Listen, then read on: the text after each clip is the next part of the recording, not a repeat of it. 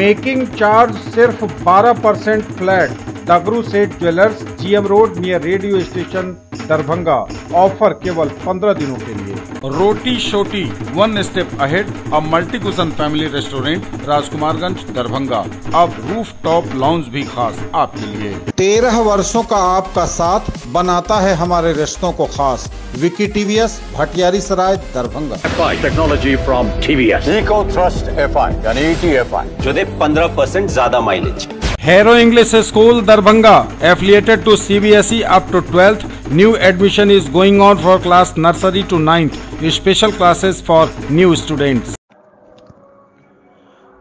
Darbhanga स्थित जिला अतिथि गृह में सांसद डॉक्टर गोपाल जी ठाकुर ने Indian oil corporation limited IOCL, Bharat petroleum corporation limited BPCL एवं Hindustan petroleum corporation limited HPCL के पेट्रोलियम गैस सीएनजी एवं पीएनजी डिवीजन के वरीय अधिकारियों के साथ उच्च स्तरीय बैठक कर दरभंगा में चल रहे उज्ज्वला योजना गैस सिलेंडर कनेक्शन एवं वितरण petrol pump gas agency C pump under gas pipeline सहित अन्य कार्यों की प्रगति एवं यथास्थिति से अवगत अवगत होते हुए गहन समीक्षा कर कई दिशा निर्देश दिए उन्होंने कहा कि वर्तमान में दरभंगा में आईओसीएल का बासठ बीपीसीएल का 21 एवं एचपीसीएल का 15 पेट्रोल पंप क्रियाशील है और आने वाले दिनों में कई और नए जगहों पर पेट्रोल पंप खोले जाने का प्रस्ताव प्रक्रियाधीन है सांसद ने अधिकारियों को ग्रामीण एवं क्षेत्र में जरूरत के अनुरूप नए पेट्रोल पंप खोलने एवं सभी पेट्रोल पंप पर सरकारी नियमानुसार दिए जाने वाले सुविधा जिसमें फ्री हवा पानी पीने का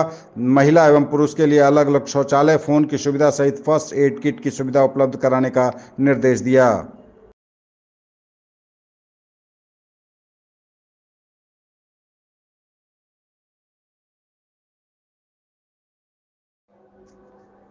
पटना के मौर्य होटल में बिहार टॉक सीजन चार अंतर्राष्ट्रीय युवा सम्मान समारोह का आयोजन किया गया जिसमें मंगल पांडे स्वास्थ्य मंत्री एवं प्रेम कुमार पर्यावरण मंत्री बिहार तथा आईजी विकास वैभव के द्वारा मिथिलांचल के संजीव कुमार को सम्मानित किया गया एवं best motivational speaker of Bihar के अवार्ड से नवाजा गया लोगों ने कहा कि संजीव कुमार युवाओं को सशक्त बनाने का कार्य कर रहे हैं जो बहुत ही सराहनीय है इनके प्रयास से युवाओं में एक नई ऊर्जा का संचार हो रहा है जो बिहार बिहार को नई दिशा की ओर ले जाएगी इस बिहार टॉक में बिहार के अनेक जिलों से अलग अलग कार्य क्षेत्र में कार्य कर रहे लोगों को भी अलग अलग अवार्ड से नवाजा गया संजीव कुमार ने अपनी सफलता और सम्मान पर बताया कि इस तरह के कार्यक्रम से युवाओं की प्रतिभा को एक नई पहचान मिलती है जिससे आने वाली पीढ़ी भी बिहार के विकास के लिए ऊर्जान्वित होती है बिहार में इस तरह के आयोजन का पहल करने वाले संस्थान का उन्होंने आभार जताया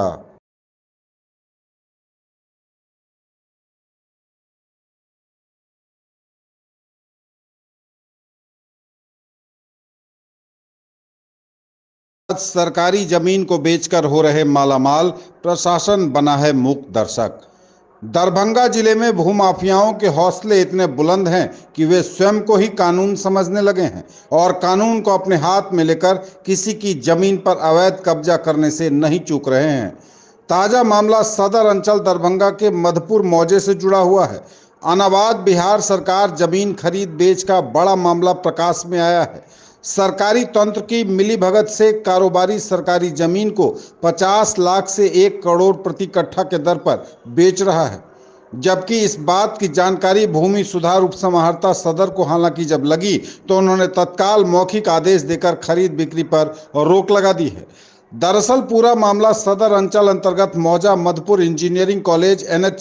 से सटे हुए अनाबाद बिहार सरकार की दर्जनों एकड़ जमीन की है जिसे कुसुम कुमारी देवी के द्वारा बेचा जा रहा है जबकि उनके वंशज के नाम से कोई पुराना खतियान या केवाला प्राप्त नहीं है कुसुम कुमारी देवी उक्त बिहार सरकार जमीन पर मालिक कैसे बनी यह भी एक बड़ा सवाल है इस बात को लेकर ग्रामीणों ने डीएम दरभंगा को आवेदन देकर उच्च स्तरीय जांच की मांग की है आवेदक का दावा है कि भूमाफिया एवं सरकारी कर्मचारी के गठजोड़ से गलत बीटी एक्ट का हवाला देकर पूरे जमीन को कब्जा करने का खेल खेला गया है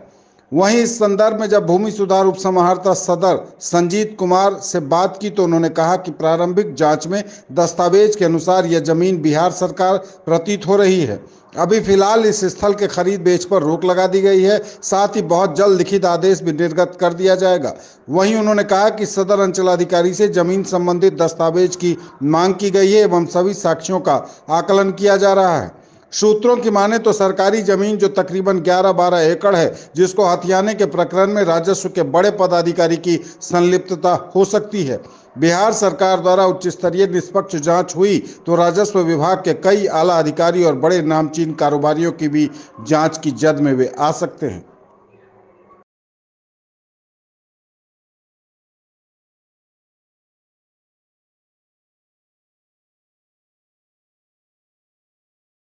बचपन से सुन रहे हैं कि ये ज़मीन बिहार सरकार है तो इधर में आके कुछ दबंग लोग जो है सो इसको भूमाफिया से बेच दिया बेचने के बाद जो है सो मिट्टीकरण वगैरह सब हो गया उसके बाद हम ग्रामीण जो है सो इस पर जो है सो अपना आभार प्रकट किया उसके बाद जो है सो कुछ साक्ष्य उपलब्ध हुआ उसके बाद हम लोग जो है सो पटिशन वगैरह तैयार करके उसके बाद जो है सो आगे बढ़ाए हैं हाँ अब सरकार से आदेश है हम लोगों का कि सरकारी संपत्ति है तो इस पर जो है सो शिक्षा से जुड़ा कोई संस्थान दे या हॉस्पिटल दे जो जनहित में लाभ हो हाँ आम पब्लिक को परेशानी नहीं झेलना पड़े हाँ अभी तक क्या हो पाया है अभी तक तो सुने हैं कि डीसीएलआर साहब जो है सो आदेश किए हैं कि अवैध इस पर जो है सो निर्वाण हो रहा है इसको रोक लगाया जाए ज्वेलरी की दुनिया का चमकता सितारा आभूषण जो चुरा लेंगे आपका दिल Dagru Seth jewellers GM road radio station के निकट दरभंगा हॉलमार्क ज्वेलरी की पूरी श्रृंखला सोना चांदी एवं हीरों के मनमोहक आभूषण किस्ना एवं जोरबा के डायमंड्स की अनोखी रेंज आभूषणों की शुद्धता जांचें बिल्कुल मुफ्त आज रविवार को अखिल भारतीय विद्यार्थी परिषद दरभंगा इकाई के द्वारा प्रतिवर्ष गर्मी की छुट्टियों में आयोजित हो रहे निःशुल्क प्रशिक्षण हेतु सर्जना निखार शिविर अंतर्गत आज योग mehndi Mithila painting beautician fine art संगीत एवं नृत्य आदि विषयों का प्रशिक्षण दिया गया प्रातःकाल में वर्ग का आरंभ योगाचार्य वीरेंद्र कुमार सिंह द्वारा प्रार्थना पश्चात आसनों में सूर्य नमस्कार शवासन शिथिलीकरण प्राणायाम इत्यादि के महत्व को बताया गया वहीं मेहंदी की प्रशिक्षिका मीनू देवी ने छात्र छात्राओं को हंस का डिजाइन बनाना सिखाया ब्यूटिशियन की प्रशिक्षिका श्रेया ने मेकअप करना सिखाया फाइन आर्ट की प्रशिक्षिका प्रियंका ने फ्रेम बनाना बताया संगीत के प्रशिक्षक मानस झा ने भारतीय लोकगीत का अभ्यास कराया नृत्य प्रशिक्षिका श्रेया ने कथक नृत्य सिखाया इस अवसर पर सहयोग में कार्यक्रम संयोजक सोनम कुमारी कार्यक्रम सह संयोजक सुमिधा श्रीवास्तव सहयोग में उपस्थित थे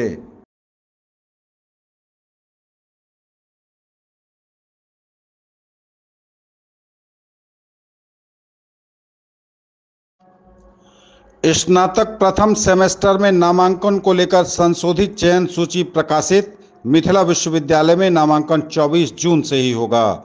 ललित नारायण मिथिला विश्वविद्यालय के डीन छात्र कल्याण कार्यालय ने स्नातक प्रथम सेमेस्टर सत्र 2024-2028 में नामांकन के लिए संशोधित चयन सूची विश्वविद्यालय के वेबसाइट www.lnmu.ac.in पर प्रकाशित कर दी है इसी संशोधित चयन सूची के आधार पर नामांकन प्रक्रिया पूर्व निर्धारित कार्यक्रम के अनुसार 24 जून से ही होगी छात्र कल्याण अध्यक्ष प्रोफेसर विजय कुमार यादव ने बताया कि पहले राज्य सरकार के आदेशानुसार बढ़े आरक्षण रोस्टर रोस्टर के आधार पर नामांकन की प्रथम चयन सूची विश्वविद्यालय की वेबसाइट पर अपलोड की गई थी किंतु पटना उच्च न्यायालय द्वारा सरकार के निर्देश को अस्वीकार किए जाने के बाद 2019 के नामांकन में लागू आरक्षण के आधार पर त्वरित ढंग से सूची में संशोधन कर सूची को पुनः जारी किया गया है उन्होंने कहा कि कुलपति प्रोफेसर संजय कुमार चौधरी के निर्देश पर अविलंब यथा संशोधन के उपरांत सूची प्रकाशित की गई है ताकि नामांकन और सत्रारंभ में किसी भी प्रकार का विलंब नहीं हो और छात्र हित में कार्य संपादित हो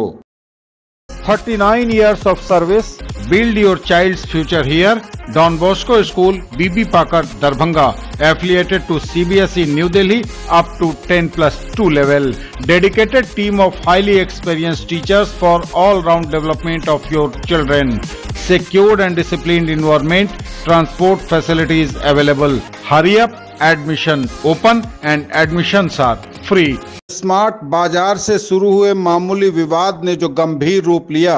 उस मामले में मारपीट में घायल जिलानी की पटना में मौत की दुखद खबर है परिजनों में मच गया है कोहराम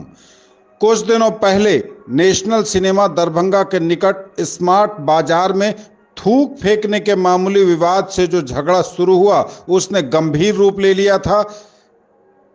तकरीबन 10 के करीब लोगों ने मोहम्मद जिलानी नाम के लड़के को जमकर पीटा था पहले उसे सिटी हॉस्पिटल ले जाया गया वहां से पारस अस्पताल और फिर उसकी स्थिति की गंभीरता को देखते हुए उसे पटना ले जाया गया था इलाके के लोगों ने आक्रोशपूर्ण प्रदर्शन किया था कोतवाली थाने पर कोतवाली थाने को घेराव भी उसका हुआ था और आखिरकार तीन लोगों को गिरफ्तार भी किया पुलिस ने लेकिन आज जीलानी की जो घायल लड़का जीलानी है उसकी पटना में दुखद मौत हो गई है परिजनों में मच गया है कोहराम यह बड़ी खबर इस वक्त दरभंगा से दरभंगा शहर के बीचों बीच नेशनल सिनेमा के निकट दो दिन पहले हुए मारपीट के जबरदस्त मामले में घायल मोहम्मद जीलानी की आज पटना के अस्पताल में दुखद मौत की खबर है परिजनों से लेकर इलाके तक में मच गया है कोहराम कोतवाली थाना क्षेत्र में थूक फेंकने को लेकर हुए मामूली विवाद से बढ़े मारपीट के मामले में घायल मोहम्मद जिलानी की इलाज के दौरान रविवार की सुबह मौत की खबर है मौत की खबर आते ही परिवार में कोहराम मच गया है सभी का रो रो कर बुरा हाल है परिजन जिलानी के बेहतर इलाज के लिए स्थानीय निजी अस्पताल से लेकर उसे पटना गए थे कोतवाली थाना अध्यक्ष राहुल कुमार की माने तो घायल युवक के परिजन शनिवार की दोपहर बाद बेहतर इलाज के लिए पटना ले गए थे उसे लेकिन रविवार की सुबह मौत हो जाने की सूचना मिली है इसके बाद मोहम्मद जिलानी का पोस्टमार्टम पीएचसीएच में कराया गया पीएमसीएच में देर शाम तक जिलानी का शब्द दरभंगा पहुंच रहा है जानकारी के अनुसार मारपीट कर बुरी तरह घायल करने के मामले में कोतवाली पुलिस ने पिता पिता और दो पुत्रों को गिरफ्तार कर न्यायिक हिरासत में भेज दिया है वहीं फरार अन्य आरोपियों की गिरफ्तारी के लिए छापेमारी की जा रही है जल्द ही उसे गिरफ्तार कर लिया जाएगा कहना है पुलिस का फरार आरोपियों में मोहम्मद अजहर मोहम्मद नाजिम मोहम्मद शहीदुल उर्फ नासिर मोहम्मद शमशेर सभी छोटी मुंसिफी के रहने वाले हैं इन सब की गिरफ्तारी के लिए जगह जगह छापेमारी हो रही है बताते चलें कि कोतवाली थाने से महज थोड़ी ही दूरी पर स्मार्ट बाजार में सीसीटीवी फुटेज में सब कुछ दिखाई भी दे रहा है कि मोहम्मद जिलानी मोहम्मद शाहनवाज के साथ बाताबाती होने लगी जिसे बाजार के स्टाफ ने दोनों को अलग अलग कर दिया फिर दोनों अलग अलग खरीदारी भी करने लगे स्मार्ट बाजार से ही शाहनवाज ने अपने पिता समेत अन्य लोगों को मोबाइल से सूचना दे दी कि उनके साथ मारपीट हुई है सभी लोग स्मार्ट बाजार के बाहर सड़क पर जिलानी का इंतजार कर रहे थे जैसे ही जिलानी सड़क पर पहुंचा लोगों ने बुरी तरह पिटाई करने के बाद उसे घायल कर दिया सवाल सबसे बड़ा है कि यदि पिता मोहम्मद इमाम चाहते तो अपने दोनों बच्चों को समझा बुझाकर मामले को शांत करवा सकते थे दूसरे पक्ष को भी समझा बुझाकर मामले को शांत करवा सकते थे लेकिन वह बेटे की बातों में आकर जिलानी के जीवन को खतरे में उन्होंने डाल दिया मारपीट कर सबों ने उसे घायल कर दिया और इसकी दुखद मौत रविवार को पटना में इलाज के दौरान हो गई